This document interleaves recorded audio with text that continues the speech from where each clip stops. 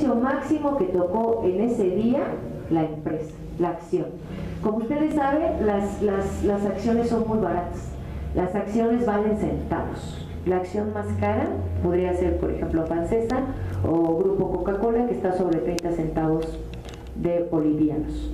Y son muy, muy baratas porque por minuto, ojo, ¿cuántos segundos tiene un minuto? 60. Si por minuto se hacen 240 movimientos de compra y venta dentro de la bolsa, ¿cuántos movimientos se hacen en una hora? Con calculadora en mano. ¿Cuántos tenemos? Un minuto, 240. 240 por 60, ¿cuánto me da? 14.400 movimientos de compra y venta dentro de la bolsa de valores. Entonces tienes que tener sí o sí un sistema que te permita, mil gracias, un sistema que te permita tener la equidad de todas las transacciones que se llevan dentro del mercado de valores. Ojo señores, una vez obtenido el precio, el precio máximo, también debemos darnos cuenta del precio mínimo. ¿sí? Y existe una tercera variable que se llama variación. Y la variación es restarle al precio máximo el precio mínimo. Eso es lo que se llama variación. Gracias. Subsecuentemente a ello, precio máximo. Queda claro, ¿no? Precio máximo que he obtenido. ¿En cuántos movimientos? ¿14.000 qué? 400. Luego entonces el precio mínimo, el precio mínimo al que haya llegado esa empresa durante ese día de emisión. Después viene la variación, que es el precio máximo menos el precio mínimo. ¿Vamos bien hasta ahí? Y luego vienen tres momentos, que no solamente se dan en finanzas ni en matemáticas, se dan en la vida. Tenemos tres momentos. Un tiempo que se llama ex ante, que quiere decir antes, un precio a priori, que quiere decir hoy, y un precio ex post, que quiere decir después. ¿Qué día es hoy, jóvenes?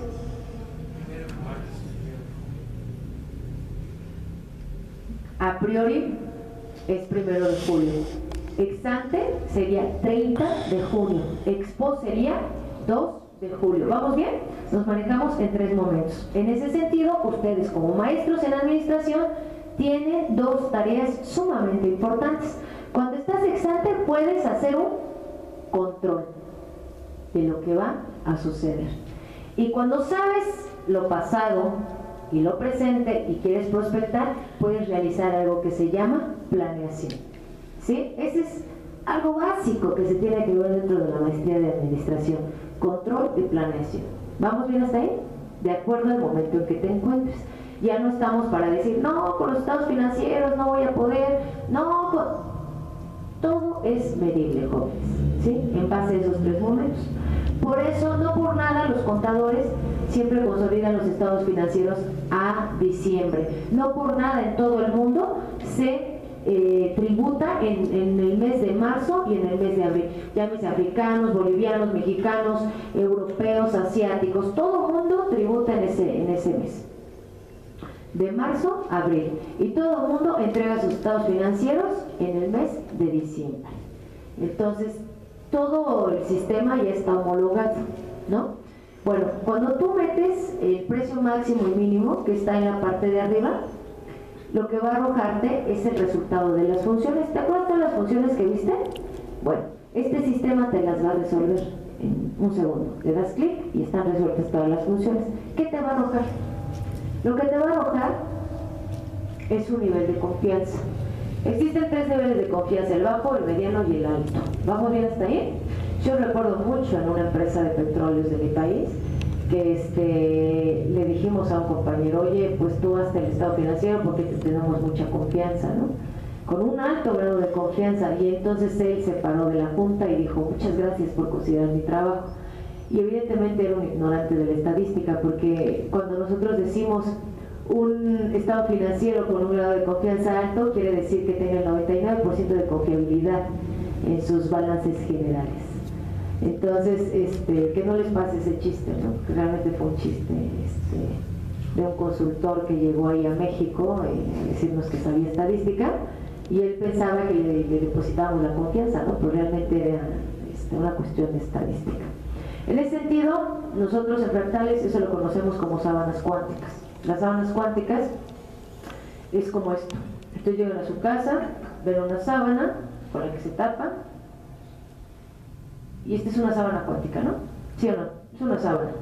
Esta es tu cama, dejas caer tu sábana, no sabes cómo va a caer, puede caer sesgada a la derecha, puede caer sesgada a la izquierda, y eso, jóvenes, se llaman colas. Las colas, dentro de la estadística, pueden ser leptocórticas o cortocórticas. En el caso boliviano, las colas son cortocórticas, porque todas las empresas son micro y medianas empresas. En el caso, por ejemplo, de economías muy desarrolladas, como el caso de Tokio o en el caso de Estados Unidos, que el 100% de sus empresas son tecnológicas, o por ejemplo Sony, este, Apple, HP, Samsung, General Electric y también todas las automotrices, ¿no? Como Ford, Toyota, Nissan, Chevrolet. O sea, todo ese tipo de, economías maneja otro tipo de colas que se llaman colas leptocórticas, es decir, están sumamente estrechas, son muy altas. Mientras que en los países latinoamericanos la cola es achatada o cortocórtica. Eso quiere decir que las empresas son pequeñas y medianas. ¿Vamos bien hasta ahí? Ok. Entonces me voy a seguir y eh, en la parte de arriba ustedes van a ver la gráfica de los precios. Ahí si se dan cuenta, lo único que están viendo son dos senos hacia arriba y un coseno hacia abajo. ¿Sí lo ven? Esta gráfica, de manera general, quiere decir ganancia o pérdida si tengo dos senos. Ganancia, ¿no? Si tuviera dos cosenos, pérdida. Lo que nosotros vemos dentro de fractales es que una vez obteniendo los 50 resultados de esas funciones, vamos a obtener lo que se llama carta fractal. Si se dan cuenta, dice 90, 180, 270 y 360 grados. Lo único que está haciendo el software, pongan atención acá, es ir moviendo la carta. ¿Sí? 90, 180, 260, 360. O viceversa. ¿Se acuerdan de lo que hizo Evo? Que volvió el reloj. ¿Sí se acuerdan? Y que lo quiso hacer hacia la inversa. Ese es el sueño de todos los que hacemos física clásica. Pero es un tiempo que se llama tiempo fractal y está muy bien definido. Me gustaría mucho que vieran los principios de relatividad cuántica de Alberto Einstein. Pero claro que Evo lo hizo con otra cosa, él no sabe física cuántica. Este, pero cuando vimos todos esos en los foros de matemáticas y los colegas dijeron, eso sería el sueño de todos nosotros. Porque realmente eso fue lo que fueron los inicios de la teoría para crear, por ejemplo, la bomba atómica, para crear, por ejemplo, este, las ondas de Elliot que tienen que ver con los focos que ven aquí prendidos, esas bombillas de Thomas Alva Edison tomaron esa teoría. Es decir, todos esos grandes científicos que dieron grandes avances a la humanidad, vieron eso que se llama tiempo fractal, y recorriendo hacia atrás. Eso implica otra cosa y creo que es tema de otra charla. Cuando quieran se las vengo para que entiendan la parte lógica de poder ver un reloj así. En esta vida, señores, todo es relativo, nada es absoluto, porque si fuéramos absolutos, todos sabríamos nuestros límites, ¿no? Dejaríamos de ser ser humanos y estaríamos programados. No dudo que haya muchas conciencias programadas, eso sí, no lo dudo. Entonces, eh, regresando al tema, tenemos a las cartas fractales y lo único que van a estar viendo ahí es la iteración a través de los movimientos con grados.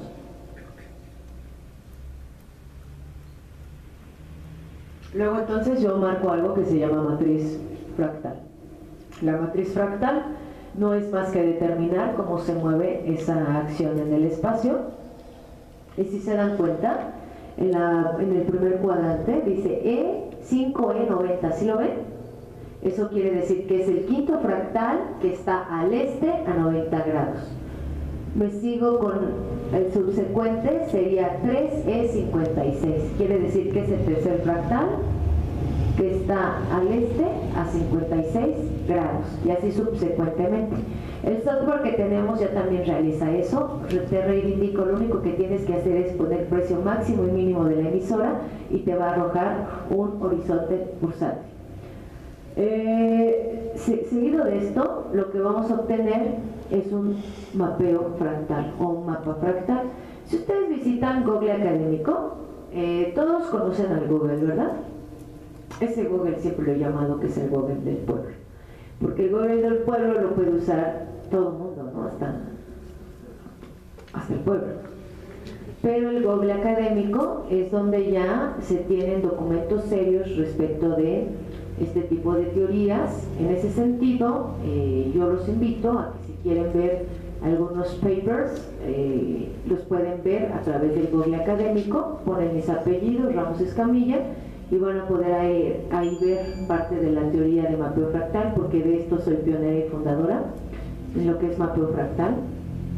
Y a través del mapeo fractal, por ejemplo en Barcelona hemos dado avances a la investigación tecnológica, como es la detección de cáncer de mama, eh, con un nivel de confianza aún mayor que, por ejemplo, un diagnóstico en R4 de, este, tomografía. Entonces, a través de este tipo de tecnología, no solamente nos, basamos en, al mercado, ¿no? hemos estudiado diferentes escenarios de acción, al ser las matemáticas una parte muy bondadosa. ¿no? Luego entonces, eh, si tú le das zoom, zoom, zoom, zoom, lo que vas a obtener son más pixeleos. ¿Estás de acuerdo con eso? ¿Sí? Y esas son las imágenes que tú estás viendo. Eso se llama mapeo fractal multivariable o multivariado. En ese sentido, lo que tú ya vas a dejar de ver son las líneas seno, coseno. Ese mercado para nosotros ya no es aplicable. Y vas a meterte a lo que se llama matriz de Kelly. La matriz de Kelly es algo muy sencillo si ese mapa lo ves oscuro, quiere decir que está en equilibrio, que es bromiano y como está en equilibrio y es bromiano, puedes invertir. Si el mapa se pinta color grisáceo, quiere decir que la empresa está ganando, es decir, tiene un margen. Y si el mapa se pinta muy blanco, quiere decir que es pérdida o costo, ¿vale? Todo eso, yo se lo digo en teoría, pero hay sustento matemático de pixeleo porque nosotros estudiamos cada punto del mercado. Imagínate que dibujas 14.400 movimientos, te va a quedar fractal. O sea, eso ya no lo explica una teoría lineal, porque si te, si te dicen que el mercado se maneja a través de líneas, pues ya no les creas. O sea, yo ya te dije la verdad. En la bolsa de valores boliviana se manejan 240 eh, movimientos por minuto y la bolsa boliviana de valores trabaja 8 horas. Entonces son 14 mil por 8, pues ya es como un billón, ¿no? Y no creo que una línea pueda determinar un billón de movimientos. ¿Ustedes creen eso? No, es como las arterias del corazón. Tampoco se pueden medir a través de un electrocardiograma. Eso también es una mentira. O sea, eh, cuando veas un médico que te hace un electro y te dice, no va bien tu corazón, va mal, dile, oye, ¿por qué no? Eso es otro tipo de gráficas, ¿no? Este, todos como profesionales en nuestra área tenemos y debemos estar actualizados para poder servir con técnica y, con mucha eh, cordura y ética profesional en el campo del saber al que nos estemos dedicando. ¿no? Eh, me voy a seguir con esto. Eh, en ese sentido, allá dice rosa morado, verde y azul porque eh, eso se ve dentro del software. Yo aquí se los traje en escala de grises. También hay estiramientos en escalas de grises. Y si se dan cuenta, ahí se forman algo que se llaman parcelas. Tomen atención en cada una de las figuras. En la primera hay cepas que se van del lado derecho, izquierdo, para ustedes, ¿sí o no? Eso sería costo o margen. Costos, ¿no? Se está yendo a la izquierda. Luego en la subsecuente hay movimiento bromiano con costo. Eso quiere decir que vas a perder, pero que también te puedes conservar en equilibrio en el corto plazo. Dentro de la Bolsa Boliviana de Valores, el corto plazo es de seis meses. Seis meses, un día y es largo plazo. ¿Sí? Y más de un año ya es un adivinador. No le creas a nadie que te diga, yo puedo prospectar más allá de un año, porque eso lo ha hecho muy poca gente. ¿no? Este, tengo un colega boliviano que hicimos algunas estadísticas en Europa para el Banco Central de, este, de España. Y ahí lo que realizamos nosotros fueron pronósticos. Estuvimos ahí creo que en 2011, hicimos nuestros pronósticos hasta el 2014. Y cuando que ustedes quieran, se los podemos enseñar con la fecha de edición y tuvimos el 99% de confianza para sectores como pesca, salud, electricidad, este, porque ellos son eh, número uno en pesca, ¿no? porque son la punta ibérica y ellos. Pues manejan mucho el comercio este, marítimo, pero hicimos diferentes pronósticos para solventar este tipo de, cuestiones y lo hicimos a través de esto, fractal. Después eh, viene otra que se va al margen, que es a la derecha, y después viene el T1 medio, que quiere decir que todos estén equilibrio. A ese no le crean, porque eso es como de llegar a la teoría tradicional. Eh, subsecuentemente a ellos, ¿se acuerdan cuando les hablé del ciclo de Carnot? Que todo lo caliente era bursátil y todo lo frío era tenedor. Ok, ojo señores, ustedes si llevan su dinero a una bolsa de primer piso y quieren invertir, ustedes se van a llamar tenedor ¿Por qué? Porque no alcanzan los 50 mil bolivianos, ni, los, ni el 12% de capital solvente, ni los 100 inversiones, pero sí están dando su dinero. Entonces ustedes dentro de bolsa se llaman tenedor. Otra postura contrapuesta es la postura bursátil, que es donde tú llegas con tus 50 mil bolivianos, el 12% de tu capital es solvente, tienes tus 100 inversionistas y entonces cotizas en bolsa. Eso se llama bursátil. ¿Vamos bien? Para nosotros en fractales, si se dan cuenta, eh, lo que ven allá es un icosaedro. ¿Qué es un icosaedro? Es un cuerpo que está dentro del espacio y que hace diferentes iteraciones. Eh, te hablaba yo que por minuto, ¿cuántos hay? 14.400.